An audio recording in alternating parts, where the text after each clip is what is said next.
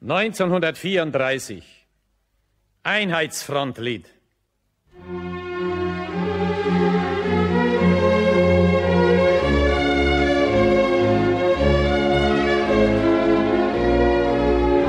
Und weil der Mensch ein Mensch ist, drum braucht er was zum Essen, bitte sehr.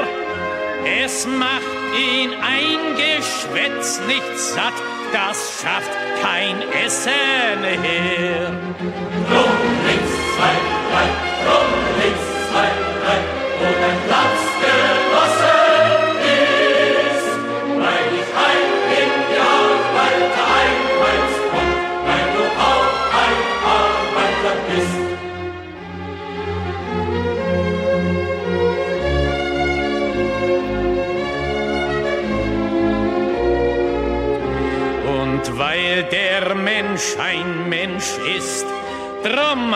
Stiefel im Gesicht nicht gern. Er will unter sich keinen Sklaven sehen und über sich keinen Herrn.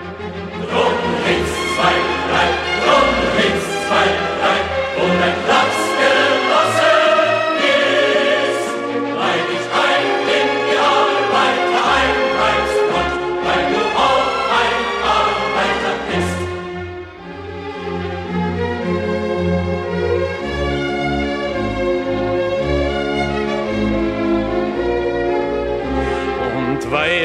Prolet ein Prolet ist, drum wird ihn kein anderer befreien.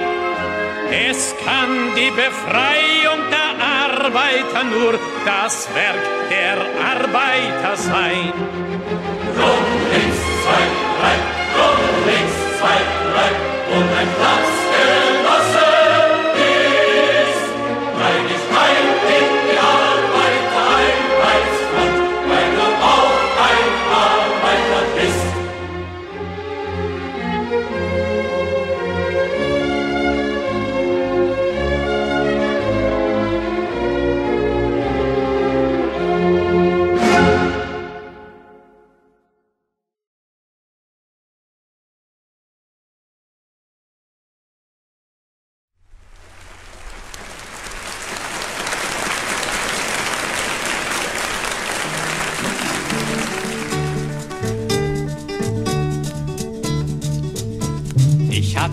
gestern ein Buch in der Hand. Da stand eine Menge vom Klassenkampf. Da stand, wie der Sklave den Knüppel nahm, wie der Bauer in Schwaben zum Morgenstern kam, warum die Kommune in Paris nicht blieb und warum der Prolet in Russland gesiegt. Ich werde das Buch heute zu Ende lesen, damit ich's dir morgen geben kann. Wir können es auch gemeinsam lesen, weil man es dann besser verstehen kann. Gerade du, der sich gern vor der Kampfgruppe drückt, den zu Hause das dritte Programm beglückt, du bildest dir ein, du bist objektiv, weil du auch das ND liest und das liegt nicht schief. Und dich, dich hat man nach der Mauer gefragt, muss ja wohl sein, hast du gesagt, aber selber mich hinstellen mit der Knarre und so, vielleicht für drei Jahre und dann irgendwo. Ich werde das Buch heute zu Ende lesen, damit ich's dir morgen geben kann. Wir können es auch gemeinsam lesen, weil man es dann besser verstehen kann. Und sagt nicht, es stört dich die Fahne im Kreis, der rote Einmann, der billige Preis, das sei zu politisch, was soll ich damit? Ja, ich weiß, du hast pünktlich Alimente überwiesen und die Gesellschaft für ihre Sorge gepriesen, diese Mutter und Kind deutlich spüren lässt. Pack sie auf der Gesellschaft, auch den Rest. Ich werde das Buch heute zu Ende lesen, damit ich's dir morgen geben kann. Wir können es auch gemeinsam lesen, weil man es dann besser verstehen kann.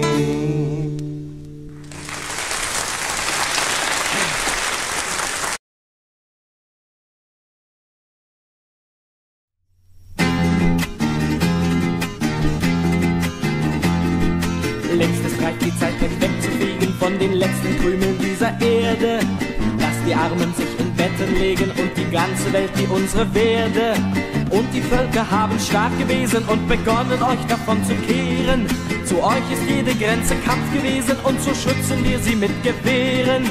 Saigon steht auf, Kuba gewann den Kampf. Chile macht Dampf, bringt die Armees zum Dauerlauf. Kuba gewann den Kampf, Chile macht Dampf. Saigon steht auf, bringt die Armees zum Dauerlauf.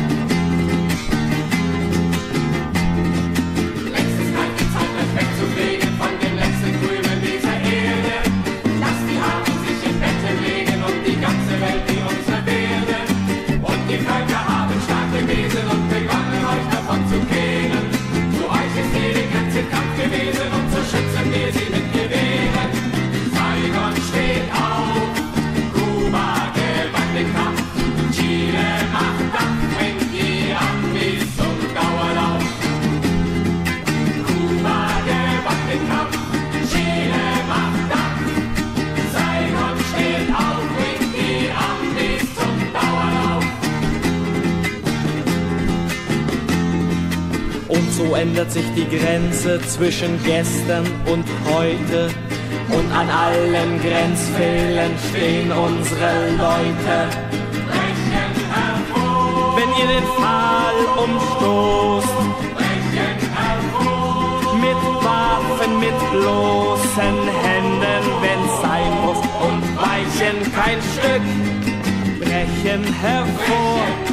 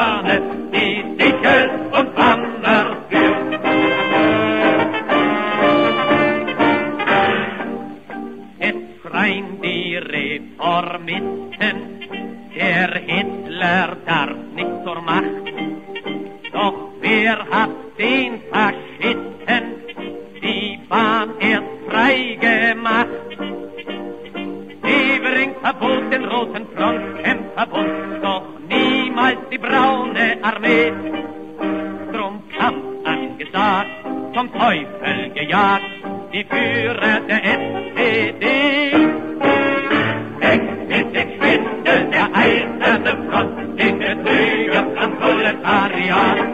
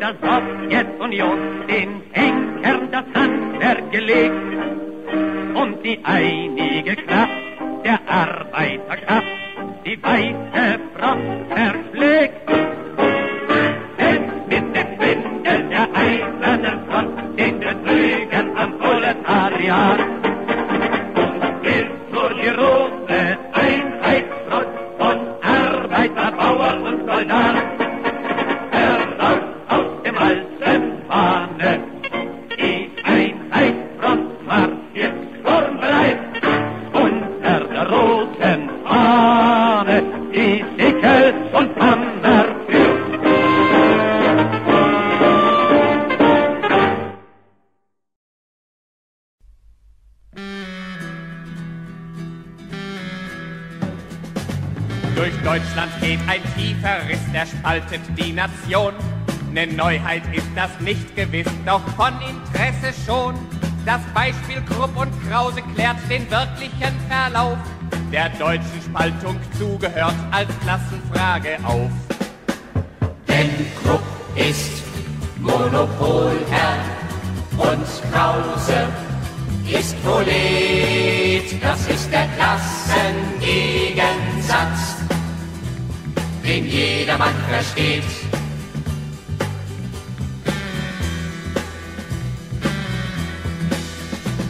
Herr Krupp, der Boss der Industrie im Club der reichsten Herren, besitzt Fabriken, Zechen, die viel tausend Mann ernähren. Als einer von zigtausend Mann steht Krause Tag für Tag in Krupps Fabrik zur Arbeit an, sein Stundenlohn fünf Mark.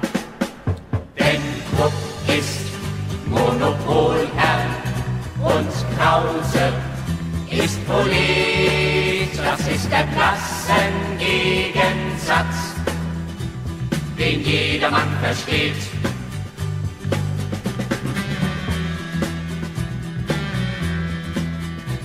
Was Krause stündlich produziert, ist mehr als fünf Mark wert. Der Mehrwert wird von Krupp kassiert, weil dem das Werk gehört. Und tausenden Kollegen geht's wie Krause jeden Tag. Herr Krupp nimmt sich den Mehrwert stets als Kapitalertrag. Denn Krupp ist Monopolherr und Krause ist Prolet. Das ist der Klassengegensatz, den jedermann versteht.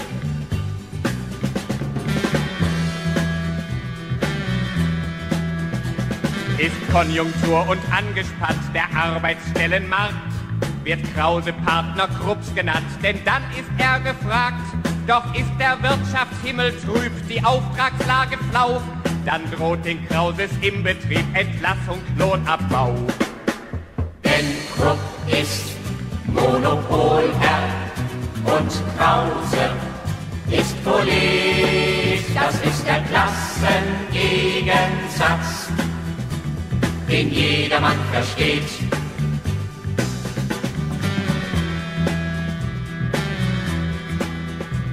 Die Spaltung hier in diesem Staat erklärt sich folglich so. Was Krupp an Macht und Reichtum hat, ist Krauses Risiko. Im anderen deutschen Staate, da gibt es die Krupps nicht mehr. Da sind die Krauses selbst für wahr die Herren der DDR. Damit sich Krupp nie wieder dort etablieren kann, strebt Krause für die DDR die Anerkennung an.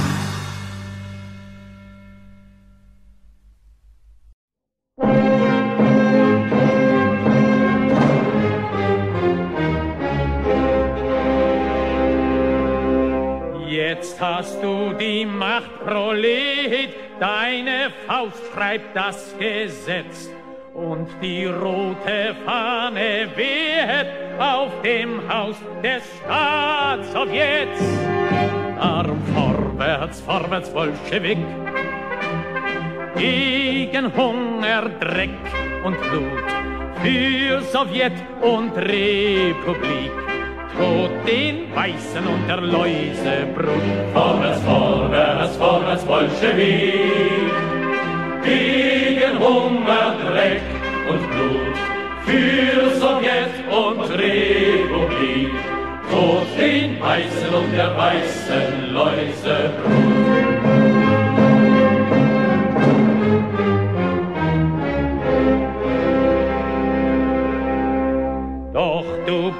Erst Herr im Haus, Kämpfer mit dem roten Stern.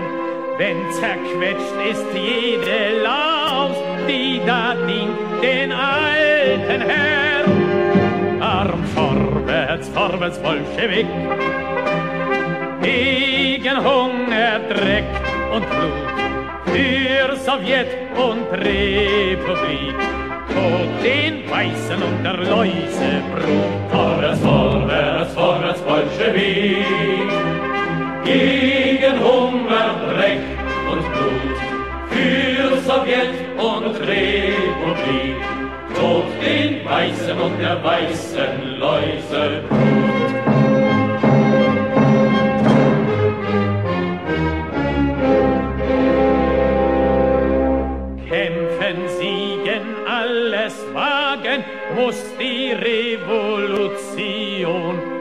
Muss die Reaktion zerschlagen und die Intervention.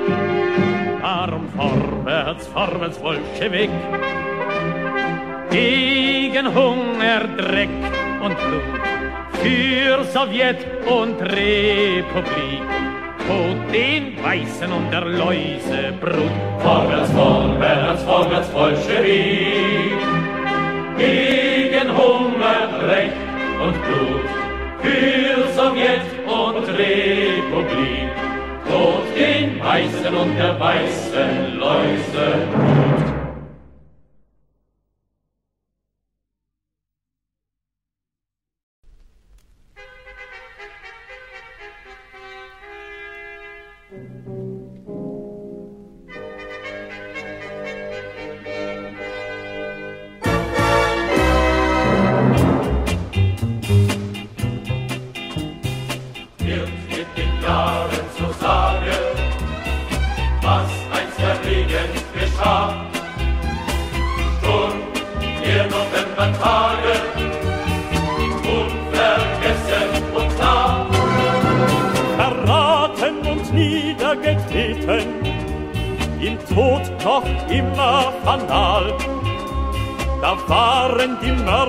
im Frieden, ihr Opfer im Landwehrkanal.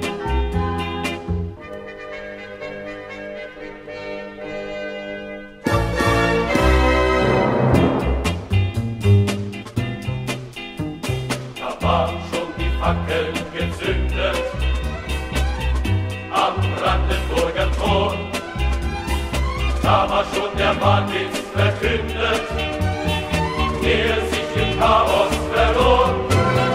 der tausend Jahre die Kälte, der tausend Jahre der Hohn, vom Marstall nach Friedrichsfelde zieht immer die Demonstration.